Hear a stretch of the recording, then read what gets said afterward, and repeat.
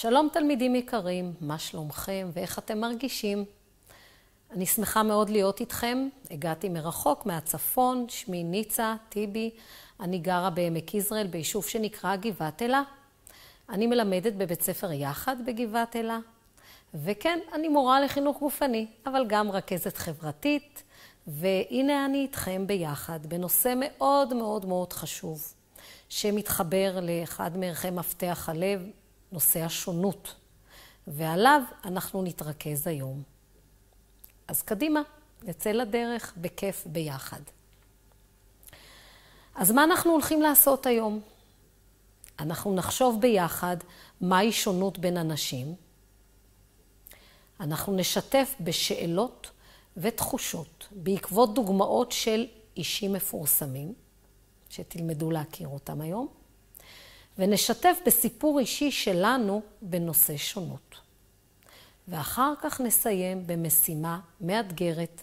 אז יש למה לצפות לעבודה משותפת ביחד, בשיעור מאוד מאוד מעניין, כן, שיעור שונה, קצת אחר. אז נצא לדרך. מה צריך להביא לשיעור? בסך הכל, כלי כתיבה, זה יכול להיות עיפרון, יכול להיות עט ודף מחברת, עם מה שאתם רגילים לכתוב, וקחו לכם את הזמן להתארגן, ואני מחכה לכם פה. אני לא הולכת לשום מקום.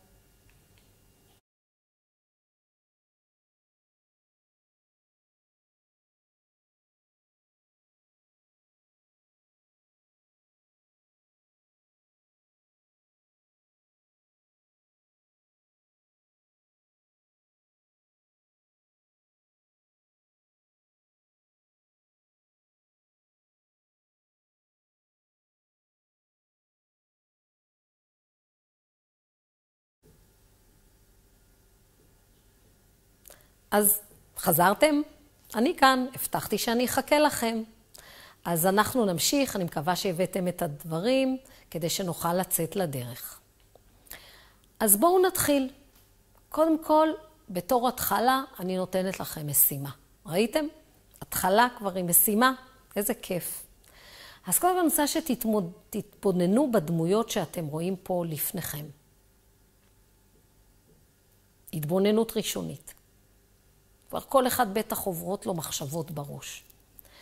אז אה, אני רוצה שתכתבו לכם בעצם האם הדמות הזאת מוכרת לכם, ובמה אנחנו יכולים לראות שהם אה, דומים, אם בכלל יש איזשהו דמיון בין כולם, אולי אין. והאם אפשר על פי המראה לדעת מה התפקיד של כל אחד מהם. במה כל אחד עסק. אז אה, תתבוננו היטב, תסתכלו טוב, תכתבו כל מה שעולה לכם בראש כשאתם רואים את הדמויות. ממש תפליגו למרחקים. כל מה שעולה לכם בראש לפי המשימות הכתובות. אוקיי? אז אני פה, ואחרי זה יהיה מעניין לדעת מה השגתם.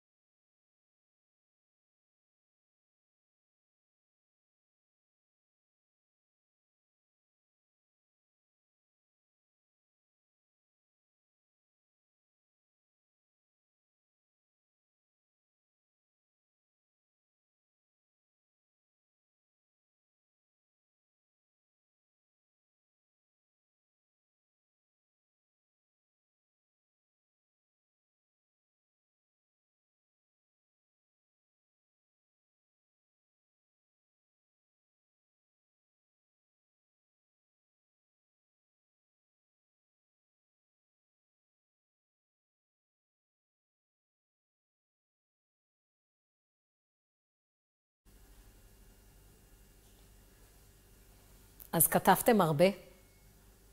בטח אה, גיליתם כל מיני דברים, אני מתארת לעצמי. אז עכשיו, אחרי שכתבתם וראיתם בעצם, אה, והסתכלתם על, אה, קודם כל יש לנו כמובן את הקטע של המראה החיצוני, רק מזה אנחנו יכולים להתרשם, אלא אם באמת גיליתם מי הם הדמויות האלה, כי הם באמת אנשים מפורסמים. לא במקרה גם החלטתי לשים אותם. אבל כשהסתכלתם, בטח חשבתם לכיוונים שונים, כי לא בטוח שמההתחלה זיהיתם אותם. אז בעצם אנחנו נוגעים פה בנושא של השונות, שאנשים הם שונים זה בזה במראה החיצוני, בצרכים שלהם, במשאלות ובשאיפות שלהם, תפיסות עולם, בדעות וברצונות, בתכונות אופי, ביכולות וכישרונות, תחביבים ומסורות ותרבותיות. אז אם אני מדברת עכשיו, אני פורטת בעצם אה, נקודה נקודה ממה שאמרתי, אז במראה החיצוני אה, יכולנו לראות אצל הדמויות המפורסמות שהייתה שם אה, אישה שהיה לה לבוש מסורתי, שכנראה אומר משהו, מהיכן היא מגיעה, לפי התלבושת המסורתית. או הדת שלה. והיה לנו אה, בן אדם שישב על כיסא גלגלים. אז היה לו בעצם איזשהו צורך מסוים אה, אחר. הוא היה חייב את הכיסא גלגלים, והצורך שלו היה שונה מבן אדם אחר שהולך.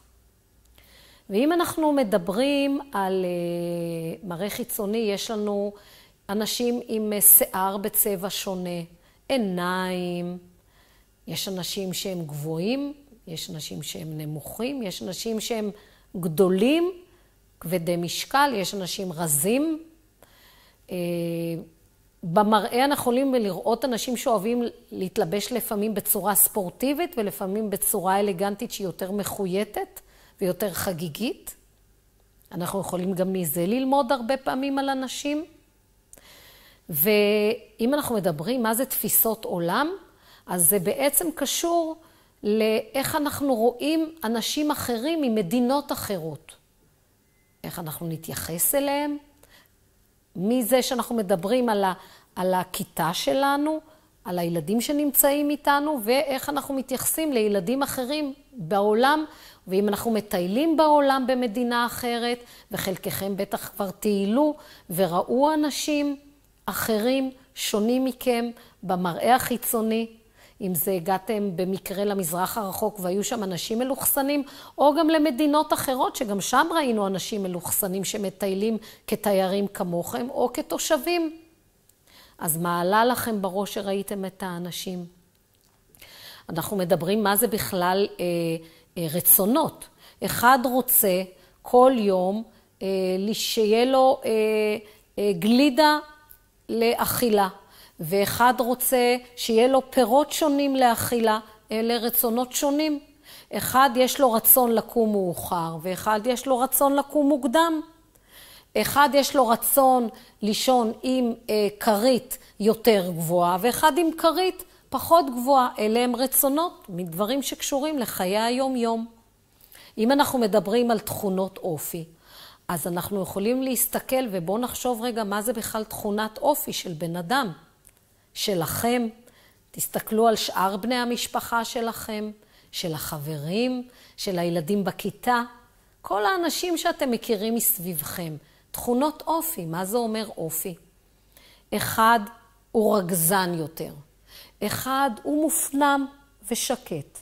יש לנו מישהו שהוא סקרן ושואל הרבה שאלות, ואחד שהוא מסתפק בלהגיע לתשובות לבד, בלי לשאול יותר מדי שאלות. אנחנו מגיעים ליכולות ולכישרונות. אז אם אני מסתכלת מסביבי, אז אני מאוד אוהבת לעשות פעילות גופנית. אני אה, פחות אוהבת לקפוץ לגובה, אבל אני מאוד אוהבת לרכב על אופניים. תשאלו את עצמכם, במה אתם? מה הכישרון שלכם, לדוגמה?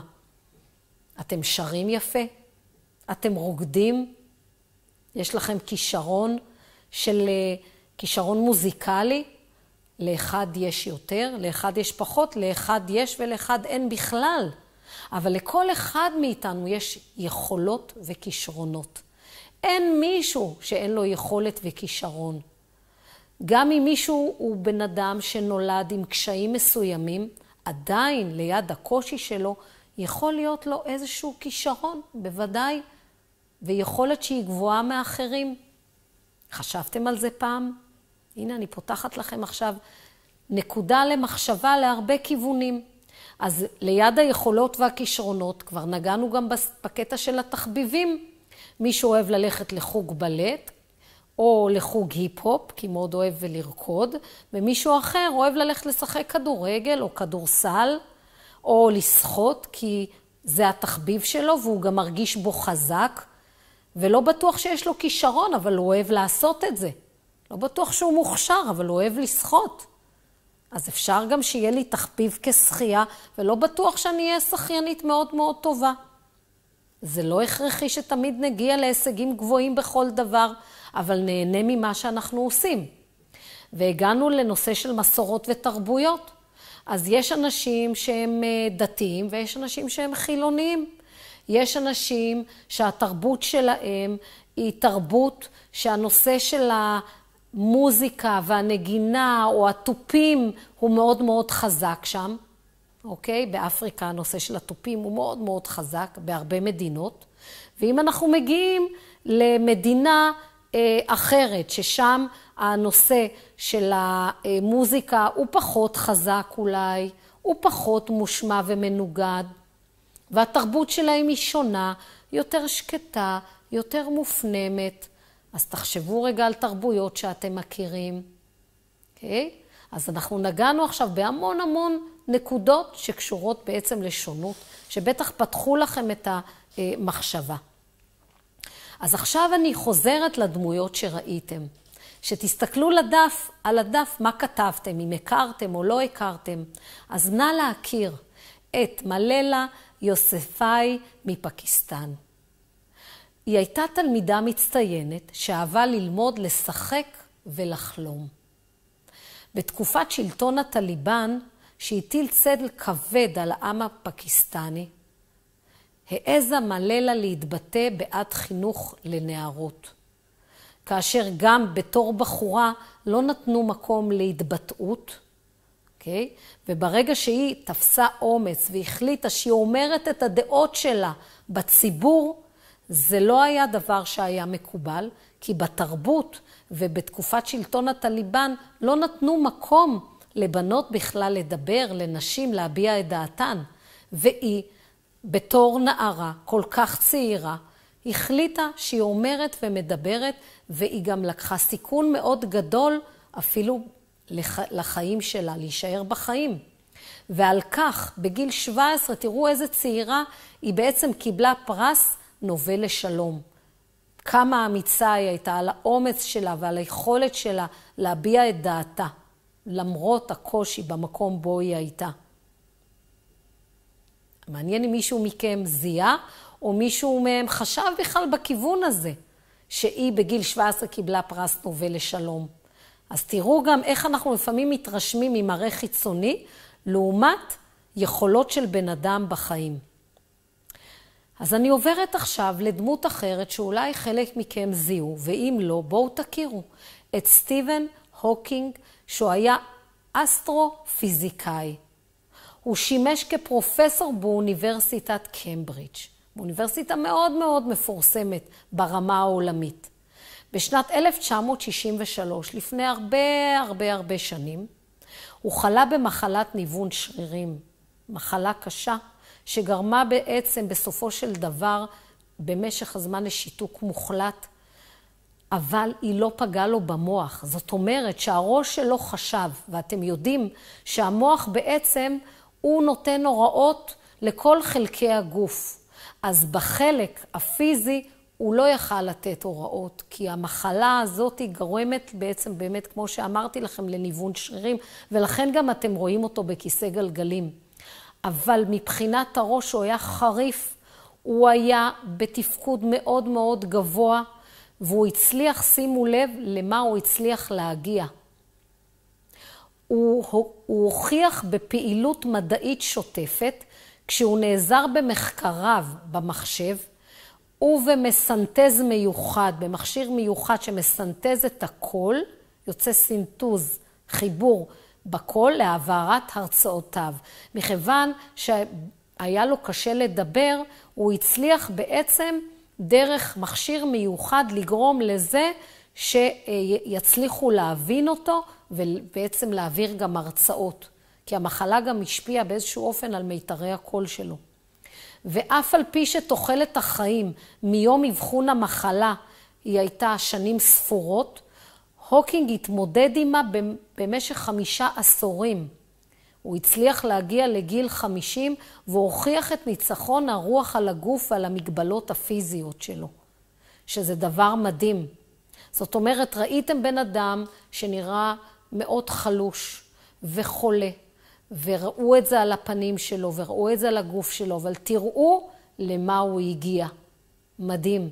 באמת סמל דוגמה ומופת ליכולת של בן אדם שבעצם המוח שלו הוא תפקד. ואני עוברת לדמות הנוספת, מאוד מפורסמת, שקוראים לו, אתם רואים את התמונה לפניכם, מרטין לותר קינג. אז הוא היה דוקטור, דוקטור מרטין לותר, לותר קינג. הוא התחיל כחומר, ככומר בפטיסטי, אפרו-אמריקאי, אוקיי? הוא היה כומר אפרו-אמריקאי, שהוא לחם למען זכויות האדם של השחורים בארצות הברית, אוקיי? נשים כהי עור. הוגה דעות מרכזי של התנועה לזכויות האזרח, והוא זכה בפרס נובל לשלום. על המלחמה שהוא עשה בתקופה שהוא חי בה, שלא קיבלו את כהי האור שווים כשווים לאנשים עם האור הבהיר. ובעקבות זה היו הרבה מלחמות בזמנו, באותם שנים, לפני הרבה הרבה שנים, והוא נלחם על, ה, על צדקתו כדי שכולם בעצם יהיו שווים. ופה אני אביא לכם עכשיו קטעים קצרים וחשובים מהדברים שהוא אמר. וכל מה שהוא אמר מאוד מאוד חשוב, וחשוב שזה יהדהד לנו וייקח אותנו לחיים שלנו יום ביומו. אז באנגלית I have a dream, שזה מה שבעצם אה, כאן אנחנו פותחים בעצם בתקציר של מספר משפטים חשובים שמרטין לותר קינג ניסה להעביר לעולם, בעיקר בארצות הברית איפה שהוא חי, ואיפשהו העולם כולו עד היום הזה נשען על המשפטים החשובים האלה. אז I have a dream, יש לי חלום, שיום אחד תקום אומה, מדינה, זאת ותגשים את משמעותה האמיתית של סיסמתה. אנו רואים אמיתות, אמיתות אלה כמובנות מאליהם, של כל בני האדם נבראו שווים. זאת אומרת, קודם כל, שבכל מדינה אנחנו נרגיש שכולנו קודם כל בני אדם, בלי לא משנה, בלי להסתכל על שום הבדל של גזע, מין, צורה חיצונית. קודם כל, כולנו בני אדם, וזה מה שמאוד חשוב להבין מרגע זה. יש לי חלום שיום אחד על גבעותיה האדומות של ג'ורג'יה, מדינה, הוא חי, יוכלו ביניהם, בניהם, סליחה, בניהם, הילדים של העבדים לשעבר ובניהם של בעלי העבדים לשעבר, להתיישב יחדיו לשולחן האחווה. כי הייתה תקופה בארצות הברית שבעצם לקחו אנשים כהי עור להיות עבדים ולעבוד בעבודות קשות למען אנשים שהם בעצם היו, נקראו האנשים הלבנים. זאת אומרת ששוב הוא חותר במה שהוא אומר בחלום שלו, שכולם יהיו שווים, ולא יהיו יותר עבדים, אלא כשבן אדם עובד, הוא, הוא מקבל שכר על העבודה שלו, ובעצם תרומה על העבודה. ולא שבן אדם יעבוד כעבד ולא יקבל על זה כלום, ויהיה במצב נחות. יש לי חלום שיום אחד אפילו מדינת מיסיסיפי, שזו גם מדינה בתוך ארצות הברית, שגם שם היה הבדלים מאוד גדולים בין שחומי עור ללבנים, מדינת המדבר, המזיעה תחת חום אי הצדק והדיכוי. זאת אומרת שהמדינה הזאת בעצם תרתי משמע, גם מדינה חמה וגם מדינה שתחת החום, החום שהכביד והביא גם לאי הצדק והדיכוי. תהפוך לנווה מדבר של חופש ושל צדק. הוא בעצם לקח את ה... והמצב הזה של, אם אנחנו מדמיינים מדבר שהוא חם והוא צחיח, יהפוך לנווה מדבר, שנווה מדבר בעצם זאת נביאה ירוקה, תחת דקלים, תחת עצים, בתוך כל האזור הצחיח הזה, וששם יהיה לנו את המקום של החופש ושל הצדק. זאת אומרת, שיהיה לנו איזשהו ירוק בעיניים, ולא צחיחות ומצב בלתי אפשרי ולא נעים וקשה.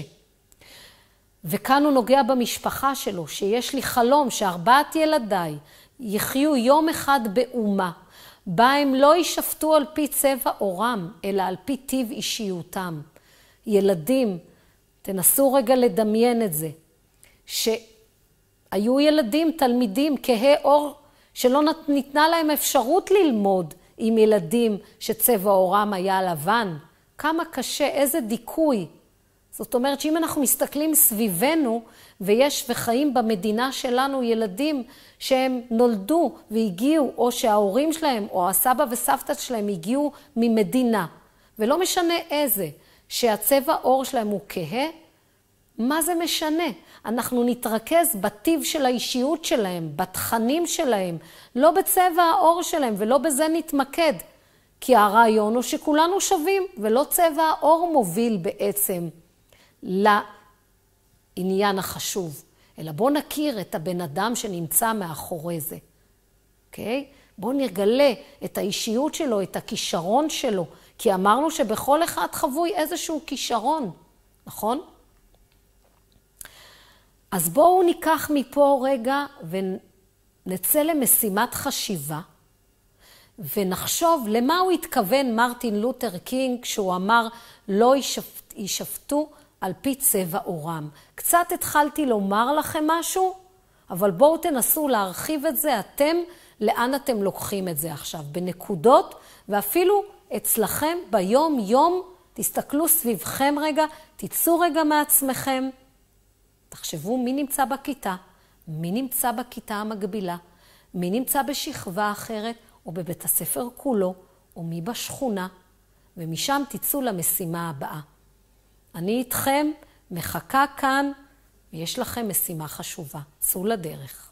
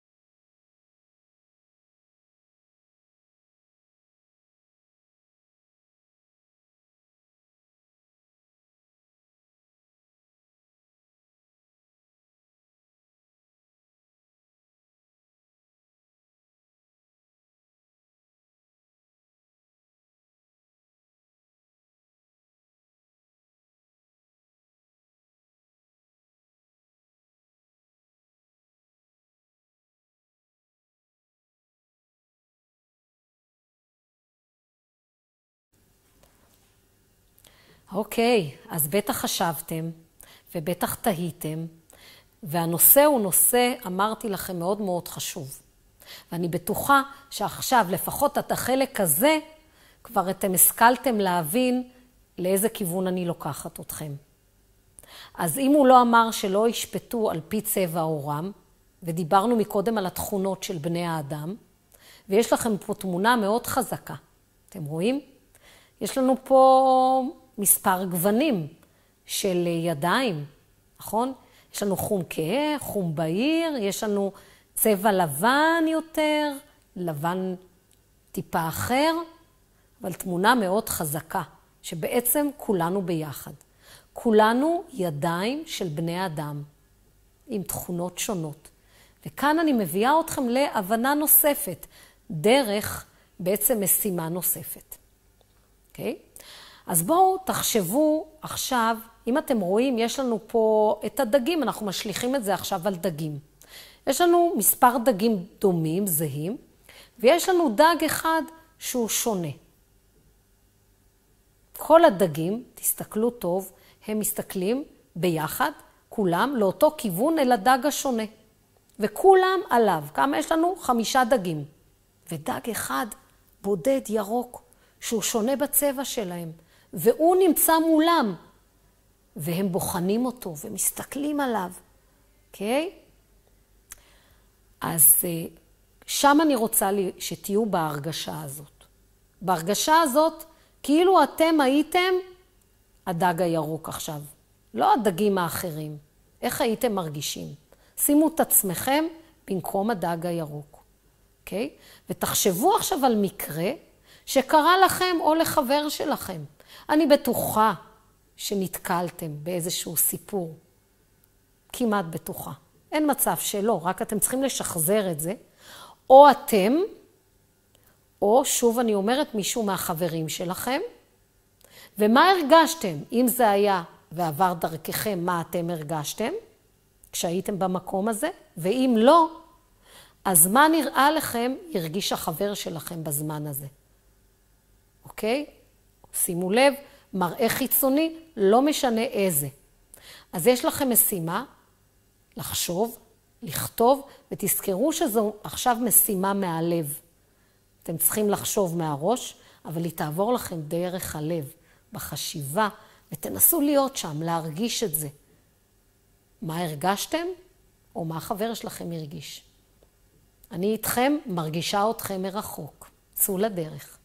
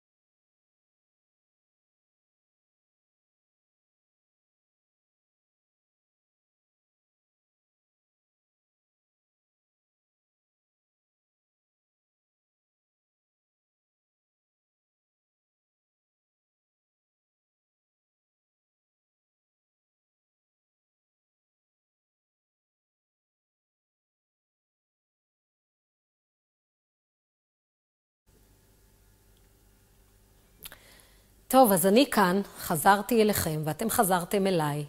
אני בטוחה שהייתם במשימה הזאת ככה עם עצמכם, ובטח היו לכם כל מיני תחושות. אני חושבת שגם איפשהו זה בטח הביא אתכם למקום, ואני מאוד מקווה, למקום אחר, אולי ממה שהייתם בו עד היום. אז בואו רגע נסכם ככה איזשהו סיכום רגע לפני הסוף. שבעצם פעמים רבות אנחנו שופטים אנשים על פי המראה החיצוני. נכון? אתם זוכרים את המשימה בהתחלה? מעניין מה כתבתם ומה עלה בדעתכם כשראיתם. כיצד הם מתלבשים? קצת רמזתי לכם אז. מה מראה הפנים שלהם? מה צבע עורם? דיברנו, עיניים מלוכסנות, שיער ג'ינג'י, צבע עור כהה, צבע עור אה, לבן, אה, עיניים אה, בצבע מאוד מאוד בולט אה, תכלת, עיניים מאוד מאוד שחורות, בן אדם על כיסא גלגלים, בן אדם שצולע, בן אדם שמנפנף בידיים, או ילד שמנפנף בידיים ברחוב ומוציא קולות. אה, אני בטוחה שגם את הילדים האלה, או את האנשים האלה, איפשהו, מה חשבתם, מה עבר לכם בראש? כן, אז הוא היה עם צרכים מיוחדים, או אנחנו רואים אנשים עם צרכים מיוחדים סביבנו. אל תמהרו לשפוט אותם, כי תזכרו שבעצם שיפוט מוקדם מסוג זה חוטא פעמים רבות למציאות, ודווקא אנשים כאלה הגיעו לגדולה ופרסום בזכות יכולותיהם וכישוריהם הייחודיים. ותשוו את זה באמת למה שחשבתם על האנשים שראיתם. לפעמים, אפילו יש סרטונים כאלה שאתם יכולים אה, להסתכל וללכת אחר כך אה, ליוטיוב ולראות, לוקחים בן אדם, איש עסקים מפורסם, מיליונר, מתלבש, איך אומרים, טיפ-טופ, חליפה, נראה משהו. ואז מלבישים אותו בבגדי קבצן, אותו בן אדם, ומושיבים אותו על הרצפה לקבץ נדבות. ומסתכלים על אותו בן אדם, מה אומרים עליו ומה אומרים על אותו אחד שלבוש אחרת, נראה אחרת, דברים אחרים לגמרי. ככה שתזכרו לא לשפוט אנשים במראה החיצוני שלהם, או מישהו שחושבים שהוא אה, צולע וקשה לו ללכת, אז, אז מה, אין לו יכולות, הראש שלו עובד פחות טוב? אל תתבלבלו. והבאתי לכם, אני חושבת, דוגמה מאוד טובה לגבי זה. ופה, את כל מה שדיברנו עכשיו, אני מאוד מאוד רוצה שתיקחו לחשיבה להמשך. אתם רואים שיש לנו פה תמונה של מישהו שמביט לשמיים וחושב. תמונה שאני מאוד אוהבת אותה והיא מאוד מאוד חזקה. אני בטוחה שכשאתם תצאו היום לדרך, לדרך אחרת אחרי השיעור הזה, תביטו אחרת על האנשים שסביבכם. תעשו לעצמכם רגע בדיקה, קודם כל עם האנשים שאפילו אתם מכירים, כמה אתם מכירים אותם. תסתכלו על הילדים, תתחילו עם הילדים בכיתה שיושבים לידכם, אוקיי? Okay? או אולי יש לכם איזשהו תלמיד בבית הספר שנמצא בכיתה קטנה, כיתה שלומדים שם קצת יותר לאט, מכוונים שם את הלמידה בצורה יותר מכוונת ואחרת. אז מה, הוא לא נחשב בן אדם? תחשבו על הקושי שלו, שהוא צריך להתמודד, כי הלימודים לא באים לו לדוגמה בקלות. אז אל תשפטו אותו, כי יכול להיות שיש לו כישרון מוזיקלי אדיר. קשה לו בלימודים, אבל יש לו כישרון מוזיקלי אדיר. והוא יכול להיות שחקן כדורגל מדהים, אבל יש לו יכולות לימודיות נמוכות. אז אל תשפטו כל כך מהר את הילדים, שבגלל שהם נמצאים בכיתה קטנה, אז הם אחרים. להפך, תושיטו יד לעזרה איפה שצריך. תזכרו שתהיו קודם כל בני אדם, ותיקחו את כל מה שלמדתם בשיעור הזה לתובנות ולמקום טוב יותר. ואני בטוחה שתגדלו אנשים יותר טובים אפילו ממה שאתם עכשיו. אני סומכת עליכם ונותנת בכם את כל האמון, וגאה בכם שהייתם איתי בשיעור הזה. מאחלת לכם בהצלחה רבה, תודה שצפיתם בשידור. להתראות עד הפעם הבאה.